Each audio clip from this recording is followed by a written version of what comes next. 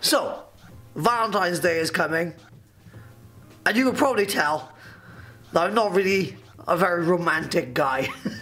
My poor girlfriend, bless her, she actually even said to me the other day, all you care about is drinking beer and lifting weights, which I thought was actually a fairly accurate representation of my hobbies. But there is an advantage to having a workshop full of tools, and that is, on special occasions, like birthdays and Valentine's Day, you can make something cool for your loved ones. And so in this tutorial, I'm going to make a beautiful wood and resin pendant with like an opal backing. So it looks kind of like a like an aurora borealis northern lights kind of scene. It should be pretty cool. Uh, before we jump in, let's run through some of the tools and materials you'll need um, and then we'll crack on with the with making the pendant. Okay, so for this project, if you decide to make one, you will be working with epoxy resin and power tools um, and you know there'll be a lot of dust involved so it's really important to consider safety first I know it's boring but you should definitely wear some kind of respirator mask uh, when you're doing your resin pours um, just to protect you from the fumes and also work in a well ventilated area. You're also going to want some gloves to uh, keep the chemicals off your hands when you're doing your resin pours. Goggles, because no one likes getting chemicals in their eyes. and of course, when you're doing any kind of sanding um, or like shaping the pendant, it's good, definitely good to wear a dust mask because, you know, keep your lungs healthy. There's a respiratory pandemic going around. it's really important to keep yourself safe. That's all I'm saying. If you do end up using any uh, casting resin or epoxy resin, then definitely read the safety data sheets that come with the resins as well, because you know the manufacturers, they, they'll tell you what to do. Alright, so now you're tooled up for some chemical warfare. That's the scary bit done. So let's talk about uh, what materials you'll be using. Okay, so we're going to use three main ingredients uh, for our pendant. The first is going to be epoxy resin, some wood uh, and an opal backing, which I'll talk about in a sec. So first up, the resin. Uh, I'll be using Glass Cast 10. Uh, it's a clear epoxy casting resin. Uh, I've used this stuff before, it's really easy to mix, it's kind of got directions on the bottle, um, so you get um, a hardener and the actual resin itself, and basically you mix them together, um, and yeah, it goes hard and clear. Good stuff. Secondly then, I'll be using a piece of wood. Uh, so this here is uh, a slice of Mallee burl, which is a beautiful exotic wood. I really love the, these kind of like spiky bits on the outside of the burl that will kind of end up looking like mountains hopefully will be pretty cool but don't worry if you don't have any um, ability to you know cut and slice wood, then you can actually uh, purchase pre-cut bits of wood for making wooden resin pendants off of Etsy. Um, so uh, there are some cool listings I found. Uh, I'll chuck links to those in the description. And then for the opal backing of the pendant, I'll be using this beautiful material that I found uh, on Etsy. It's called Oparex. Um, and it's basically a synthetic opal. Um, it's kind of hard to capture sort of how many colors are dancing around in that slice there. Um, but yeah, these guys, they sell these like thin slices of uh, the uh, synthetic opal and there's just a range of different colors. Uh, when I ordered this, I thought it would be a bit darker, so I've, I've ordered the wrong one really. Uh, but this has got like a lovely, uh, almost looks kind of like pearl, and you can see like all those beautiful different colored fires dancing around in there. Ooh lordy, that's pretty. Yes, very, very pretty stuff indeed. So for the tools, uh, I wanted to make this uh, sort of as simple as possible uh, so that you know anyone could do it really you won't really need like a huge amount of tooling uh, but for this particular tutorial, you're definitely going to need uh, some kind of uh, sanding device. I'll be using my lathe and I just made like a quick sanding disc for that. Um, so I can do all my sanding on there. I'll also be using young Barry the bandsaw. There he is. Yeah. So yeah, I'll do most of my cutting like on the bandsaw, uh, but I would imagine you could get away with just using like hand saws, like a little razor saw or something. Or like I said, there are listings on Etsy uh, where there are shops that sell pre-cut little blanks of wood with mountains already carved into them.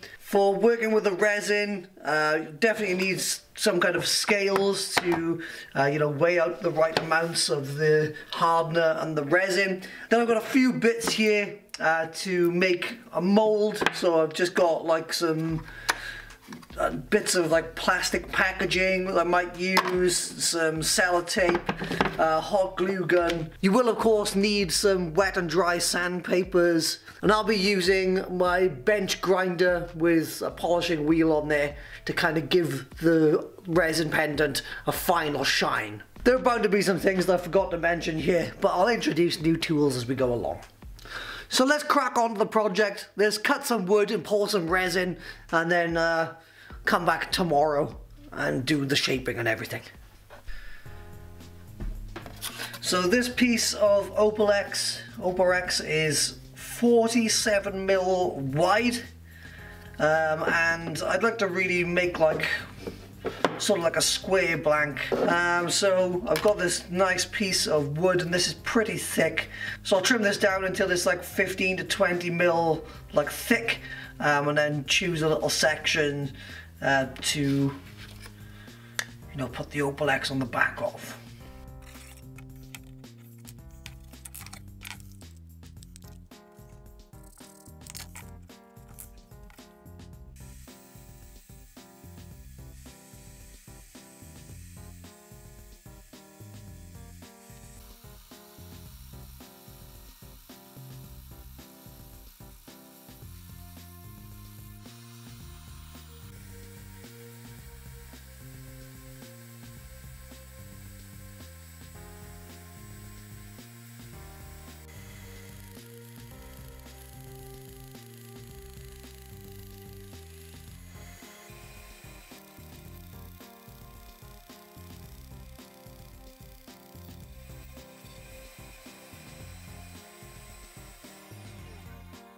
Will admit I was kind of curious to see uh, how difficult it was to cut this material. I'm not sure if I did it right on the bandsaw, uh, but you know, I've got a few bits of it chipped, but that's, I think that's okay because, you know, it'll end up getting shaped anyway, uh, but it wasn't actually too difficult to cut, so I'd imagine you could do this just with like a handsaw if you needed to. Next, I'm going to stick these bits of opal to the bits of wood using some CA glue.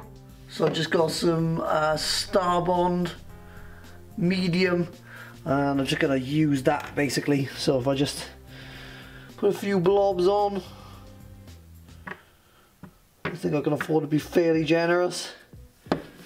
And then, I mean that's pretty cool, kind of aurora looking pattern. Uh, so I'll stick that on there, like that.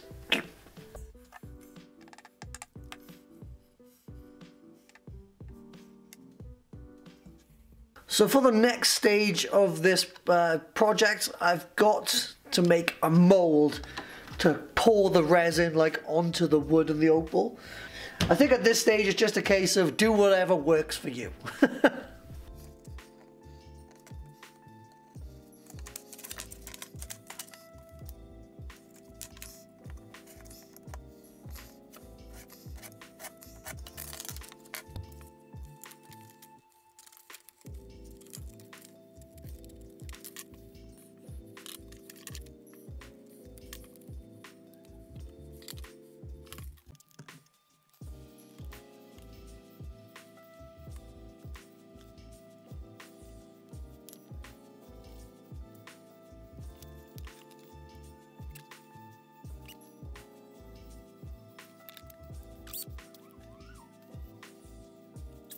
Alright, I've done one with a hot glue gun. it's not really ideal.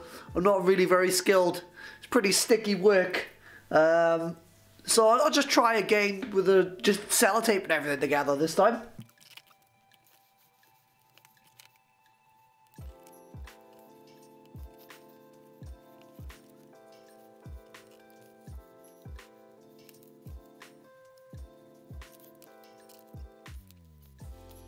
Alright, I've got two molds. Uh, I, I, personally, I'm sorry for this internet. I realise that uh, those are some of the ugliest molds you probably would have ever seen. But I think they'll do the job. I think pretty much when you get to this stage, all you need to do is just make sure that that, you know, in, is sealed and encased so that when you pour your resin in, it's not going to leak out around the sides or down the bottom or anything. Um, I actually think that the the one with just the sellotape and the bits of clear packaging. I think they worked out the best. But we shall soon find out which is the superior mold when we pour the resin in and see which one of them inevitably leaks everywhere. okay, I'm at the stage where I'm about to pour the resin, or mix the resin up and do the pour and all that malarkey. Um, but it's pretty cold here in the UK nothing changes there, I suppose. Uh, but with this glass cast resin, uh, there's a little notice on the back saying uh, that if the resin is cloudy uh, or not perfectly clear, then it's got cold and crystallized. So before use, put the sealed container in very hot water until the resin becomes perfectly clear and then allow to cool fully. So, we take you down here. I've got a pan of hot water from the kettle and I'm going to put the resin in there for a bit. Hmm. Hopefully that will help to warm it up. Alright, time to mix them up. I'm going to follow the directions on the front of the bottle. It says by weight, which is what I'm going to do it by. Uh, 100 grams of resin, you need 45 grams of hardener.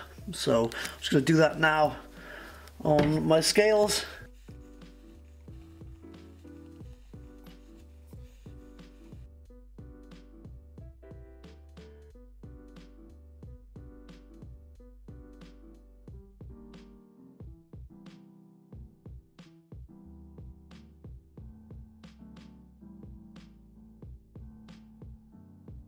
Alright, they look pretty fabulous, uh, but there's a few bubbles in there, which I don't mind, but I'm just going to use this blowtorch to skim over the top of the resin, which will help to kind of pop some of the bubbles.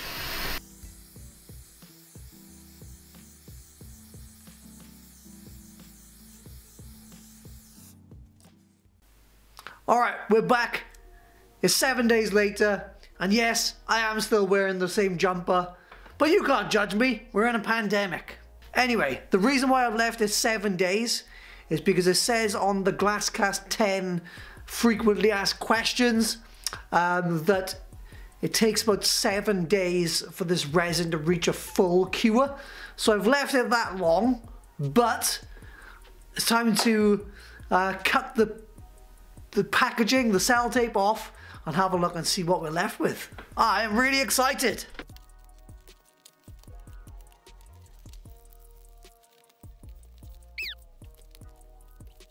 Holy macaroni! The colours in that material are amazing. Let's bring you in for a closer look.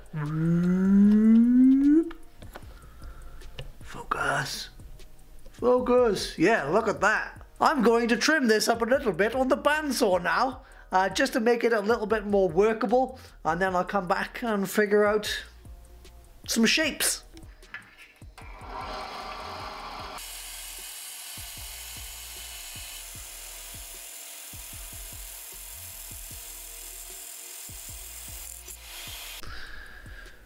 So I've drawn my desired shape onto the blank. In this case it was a circle which I just traced around a little plastic thing that I had laid around. Um, and then I trimmed up the edges on the bandsaw. If you do decide to do this, then just be careful with your fingers. So the next thing is to go over um, and just rough out the shape now with disc sander, which I've done on my lathe. Um, and then we can get the polishing.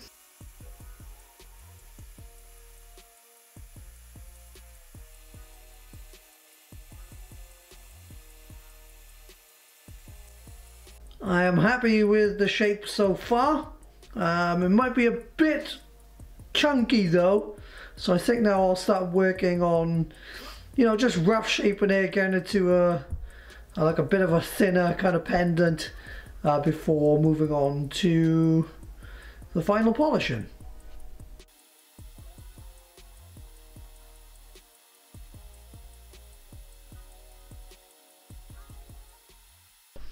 Okay, I am happy with the shape and the thickness of the pendant now. Uh, I've got it down to, it's about six mil uh, thick, which I think is pretty nice, not too chunky. Um, and now I just need to uh, polish up the resin. As you can see, it's gone like quite cloudy um, from the sanding on the, the disc sander. Um, and so now I'm going to take well, progressively finer grits of wet and dry sandpaper. I'll start with a 400 grit um, and basically the higher the number the grit of sandpaper that's the finer it will go and the nicer finish you'll get on the resin. Uh, so I'll start with 400. I would normally move on to 600 but I've only got an 800 um, and then uh, 1200 grit and then 2000 grit and then we'll see where we're at and um, maybe move on and polish up on a buffing wheel or something afterwards. But let's conquer this one first. So there it is after a 400 grit sanding. Um, I mean, it all already looks pretty cool. Uh, but I think I'll go ahead now and just move through the grits and, you know, really make that as shiny as possible.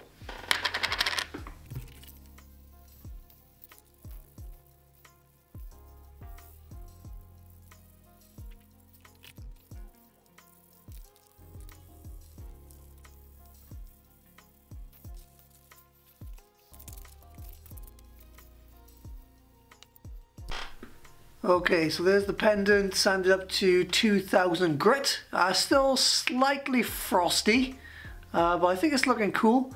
Uh, I'm not entirely sure if I'm happy with the shape, but you know, maybe that's just the artist's eye. It's not so much a circle, it's more like a squished oblong. But that's cool. It's handmade, isn't it?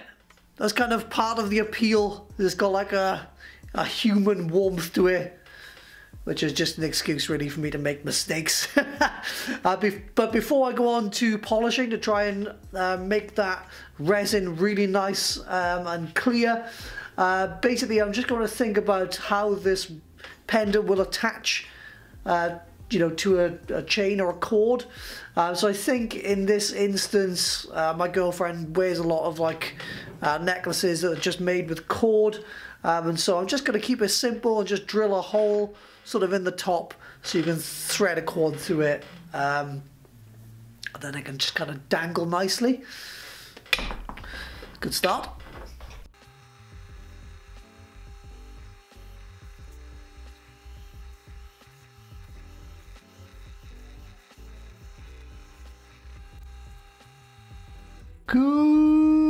Okay, so to uh, bring up a nice polish on the resin.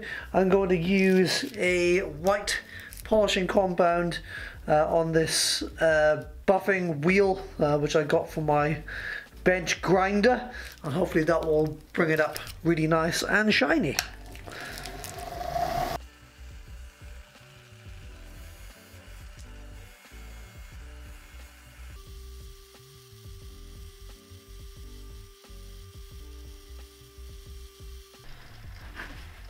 I'll just take some rubbing alcohol or surgical spirit and just a bit of uh, a kitchen towel or paper towel, whatever you want to call it.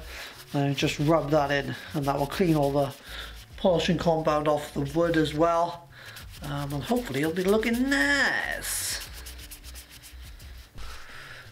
The last thing I'm going to do is uh, apply like a bit of a cut and polish wax. This one's from Chestnut Products. Uh, this will just shine up the wood and offer a bit of uh, a bit of protection as well to the wood.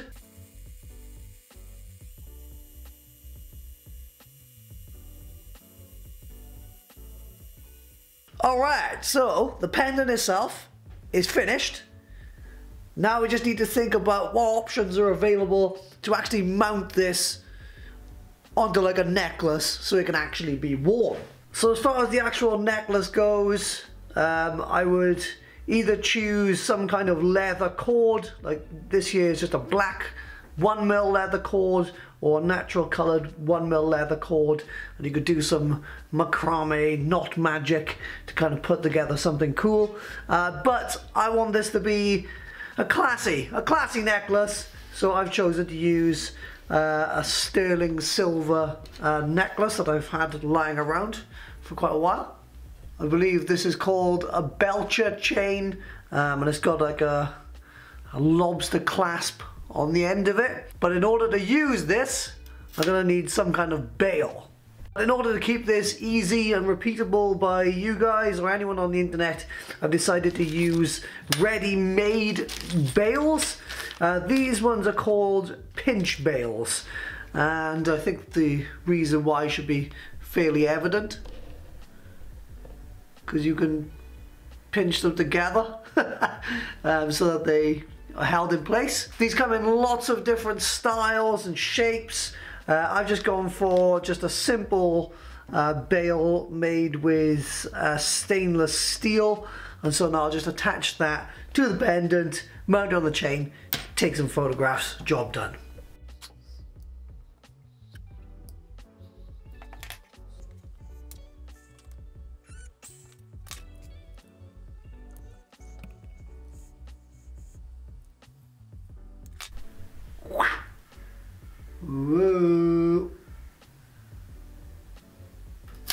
Can just take my silver chain. Oh, why did I do this?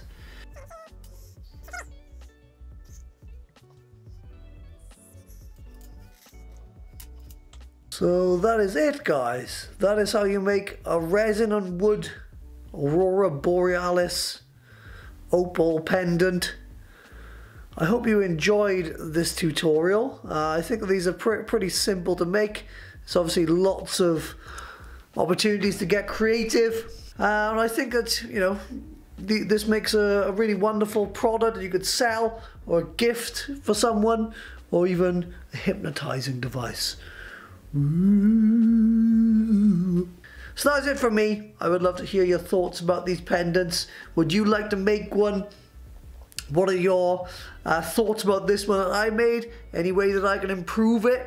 Ping the like button if you liked the video, uh, subscribe, and maybe watch some more of my tutorials uh, because you might enjoy them. Anyway, I hope this has been helpful, and I'll see you in the next one.